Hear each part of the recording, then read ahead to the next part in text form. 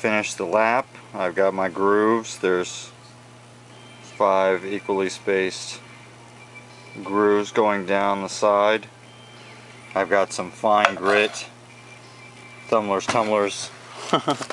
it's nothing, uh, I don't even think this is what I'm supposed to be using for rock tumbling. But I believe this is silicon carbide. Oh, my battery's dead.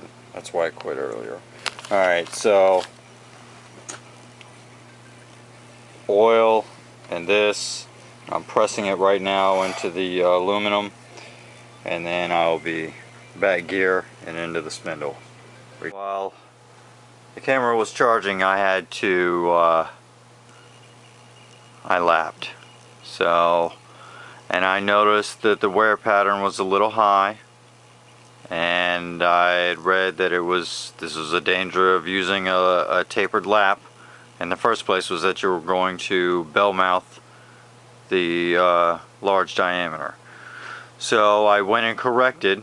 I put it back in the machine and I turned the taper again. This time I turned it slightly less taper. There is uh, the small end is larger than the large end. So that and I already put this in and I'm getting contact area down at the bottom side. So this is where I, this is what I'm going to go with with my uh, what's considered fine grit but this is coarse to me so uh, this is my working grit. So I've got it in back gear. I got my screwdriver to hold the thing. And uh, here I'll turn the speed down a bit. And we'll start again.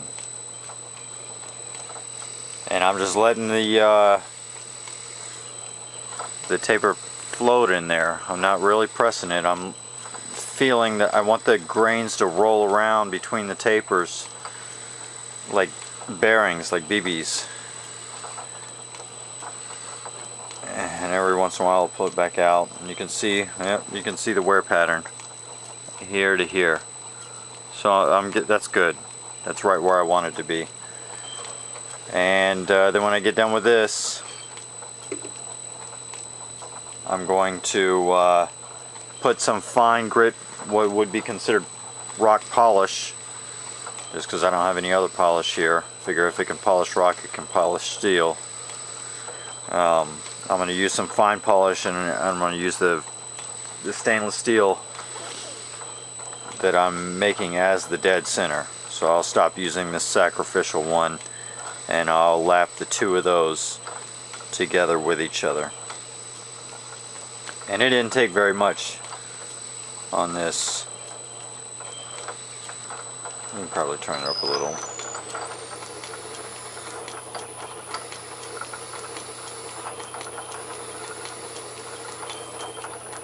Alright, and you can see that's you can see the wear pattern, that's pretty evident.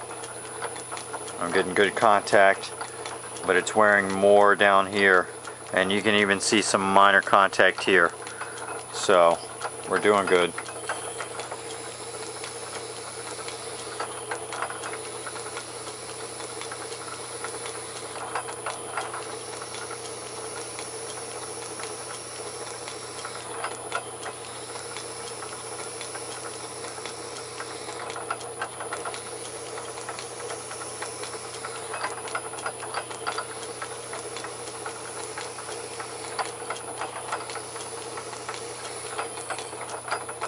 Alright. I'm thinking that's pretty good. I don't know. Uh, I'll try again here.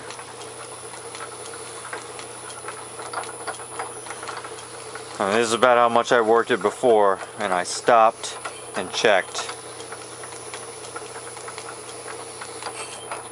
And it looks, we're getting good contact all the way around. You can see that. I'm going to cut this off clean out the inside of the bore and I'll blue the stainless steel and I'll show you that. So, as a matter of fact, before I get into uh, cleaning this all out, I'm just going to run these two together and so with the existing grit that's in there and we'll see uh, if it grips and rips it out of my hand then we've done a good job. Yeah, actually we should be able to see a pretty good wear pattern on these. Ah, and look at that. That's uh, that's where we're my taper goes from here to here. That's dead center. I'll just keep working that a little bit.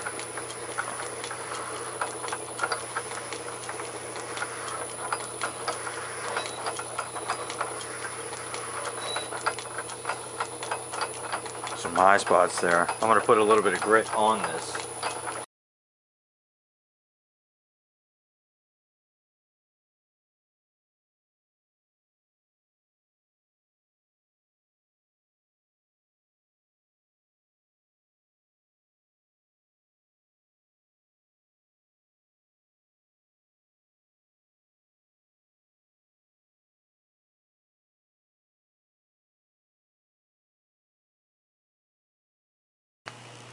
Alright, now I've wiped uh, some WD-40 and pre-polish on here. We'll run this.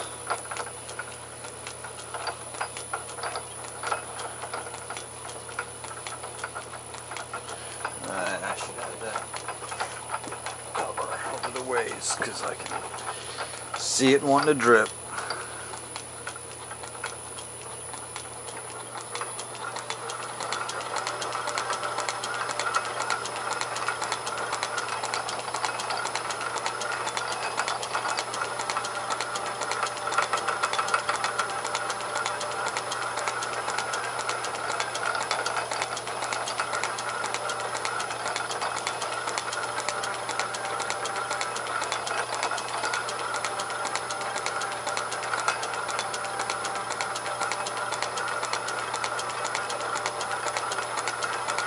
Just the grip.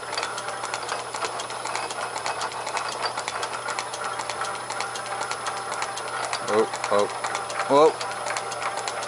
Uh, oh, I think I lost it. I lost it. It's sucked in there. Oh, it's in there. It's in there. I think I've achieved fit. Just about. Get my ram and push it out. I know I turned the camera on for a reason.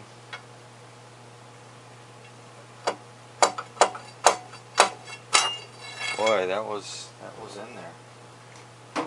Let's try running it again just to make sure that that wasn't some anomaly, anomalous.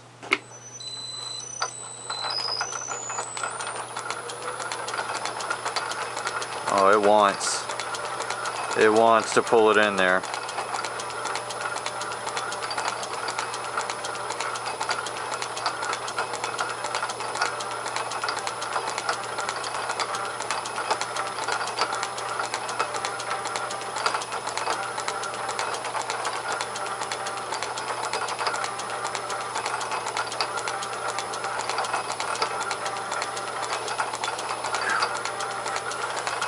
Yeah, I can feel it gripping.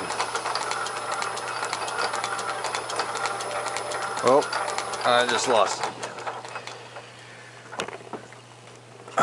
It's not coming out. I've pretty much achieved it there.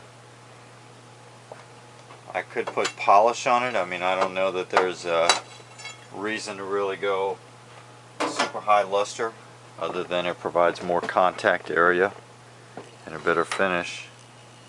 Oh, oh, look at that. That's nice. Uh, although I was rubbing it back and forth, but that's good contact area.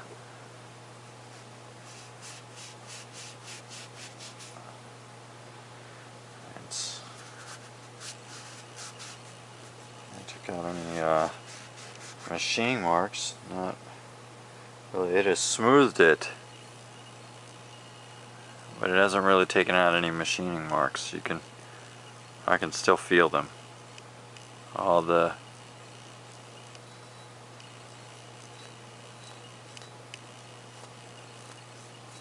I got no way to fingernails to tell you, but uh, yeah, it's still the same shape that it was. It has not altered shape here.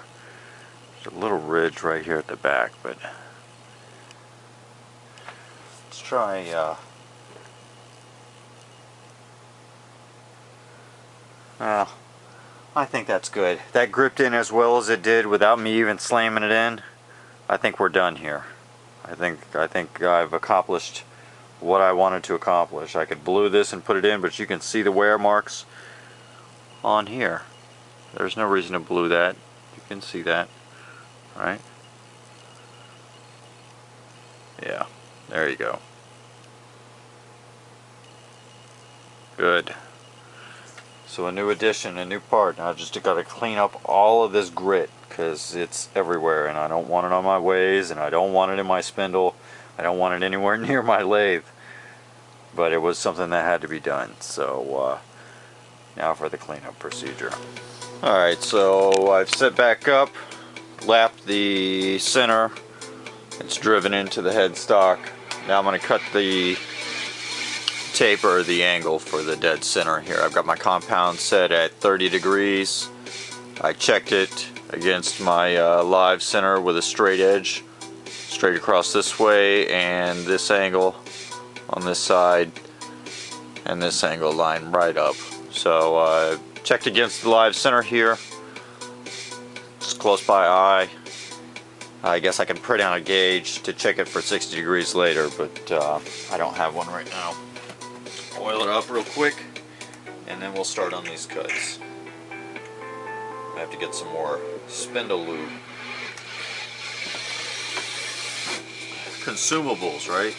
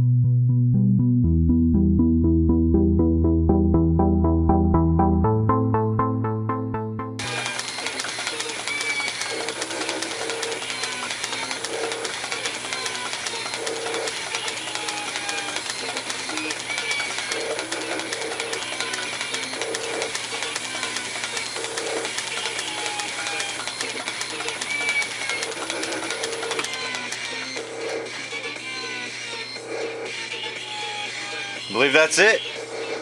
I think I scored. Nice and smooth. It's not a real sharp point. I left it a little slightly.